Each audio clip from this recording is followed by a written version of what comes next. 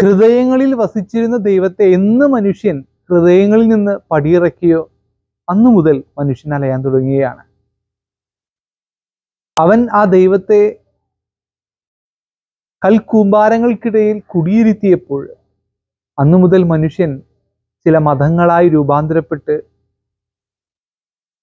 സമാധാനം നഷ്ടപ്പെട്ട് ദൈവത്തെ തെരഞ്ഞുകൊണ്ട് അലയുകയാണെന്നും കഴിഞ്ഞ ദിവസം നമ്മളെയൊക്കെ സങ്കടപ്പെടുത്തിയ ഒരു വാർത്ത നമ്മൾ കണ്ടു. ഗംഗാ നദിയിൽ സ്വന്തം കുഞ്ഞിന്റെ ക്യാൻസർ രോഗം മാറാൻ വേണ്ടി ആ വെള്ളത്തിൽ മുക്കിക്കൊന്ന ഒരമ്മയെ. കേരളത്തിലും അത്തരത്തിലുള്ള സാഹചര്യങ്ങളൊക്കെ അന്യമല്ല.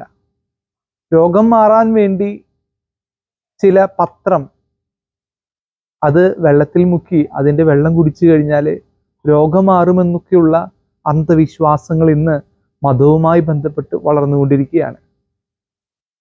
നോക്കിയേ ദൈവത്തെ മനസ്സിലാക്കാൻ പറ്റാതെ പോയ ഒരു വലിയ ജനമാണ് നമ്മുടെ മുമ്പിലുള്ളത്.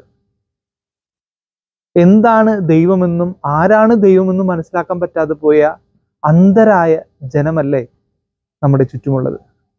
ദൈവം സ്നേഹമാണെന്ന് മനസ്സിലാക്കുന്നിടത്തോളമാണ് നമ്മുടെ ആത്മീയത വളരുന്നത്. അല്ലാത്തിടങ്ങളിലൊക്കെ അത്ഭുതങ്ങൾ തേടിയുള്ള ചില യാത്രകൾ. യോഹനാന്റെ സുവിശേഷത്തിൽ നമ്മൾ ഇന്ന് മനസ്സിലാക്കുന്ന ഒരു യാഥാർത്ഥ്യമുണ്ട്. സമരിയക്കാരി സ്ത്രീ ഈശോയെ കണ്ടുമുട്ടുകയാണ്. കിണറ്റിൻ കരയിലാണ് അവിചാരിതമായാണ് കണ്ടുമുട്ടുന്നത്.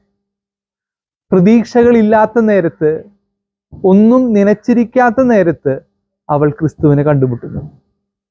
പലപ്പോഴും നമ്മൾ ദേവാലയത്തിലേക്ക് കടന്നു വരികയും വഴികളിലൂടെ ദേവാലയത്തിന് മുമ്പിലൂടെയൊക്കെ യാത്ര ചെയ്യുമ്പോൾ ചെയ്യുമ്പോൾ പണ്ടൊക്കെ നമ്മൾ ഒരു കപ്പേലയുടെ മുമ്പിൽ വരുമ്പോൾ നമ്മൾ കുരിശ് വരയ്ക്കാറുണ്ട് ഒരു ദേവാലയത്തിന് മുമ്പിലൂടെ കടന്നു പോകുമ്പോൾ കുരിശ് വരയ്ക്കാറുണ്ട് ഇന്ന് ആ ദൈവിക സാന്നിധ്യമൊക്കെ നമ്മൾ മറന്നുപോയിക്കൊണ്ടിരിക്കുകയാണ്.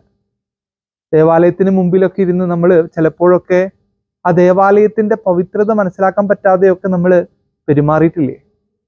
ക്രിസ്തുവിനെ കണ്ടെത്താൻ പറ്റാത്ത നിമിഷങ്ങളിലൊക്കെ നമ്മളും ഇത്തരത്തിലുള്ള നമ്മുടെ ആത്മീയതയുടെ ചവിട്ടുപടികൾ പലപ്പോഴും ഇറങ്ങിക്കൊണ്ടിരിക്കുകയാണ്. സമരിയക്കാരി സ്ത്രീ അവൾ ഈശോയെ തിരിച്ചറിയുന്നുണ്ട്. അത്ഭുതങ്ങളിലൂടെയല്ല അവനെ കണ്ടെത്താൻ പരിശ്രമിച്ചതിന്റെ വലിയൊരു അടയാളം.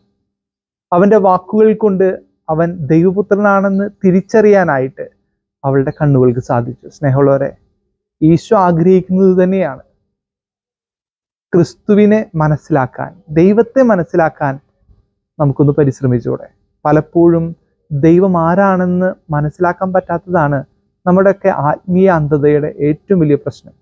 നമ്മൾ എന്തുകൊണ്ടാണ് ആത്മീയതയിൽ വളരാൻ പറ്റാത്തത്? ദൈവം സ്നേഹമാണെന്ന് മനസ്സിലാക്കാൻ പറ്റാത്തിടത്തോളമാണ് നമ്മൾ ആത്മീയതയിൽ വളരാതെ നിൽക്കുന്നത്. പലപ്പോഴും നമ്മൾ പ്രാർത്ഥിക്കാൻ പോകുമ്പോൾ ചില കാര്യങ്ങളൊക്കെ വേണമെന്നുള്ള ചില ശാഠ്യങ്ങൾ. അതിനുവേണ്ടി മാത്രമായിട്ട് നമ്മൾ ദൈവത്തെ ആശ്രയിക്കുന്ന രംഗങ്ങൾ. സ്നേഹമുള്ളവരെ നമുക്കൊന്ന് പരിശ്രമിക്കാം. ദൈവം സ്നേഹമാണെന്ന് മനസ്സിലാക്കിയെടുക്കാനുള്ള കൃപയ്ക്ക് വേണ്ടി നമുക്ക് പ്രാർത്ഥിക്കാം. ദൈവം സമൃദ്ധമായി അനുഗ്രഹിക്കട്ടെ.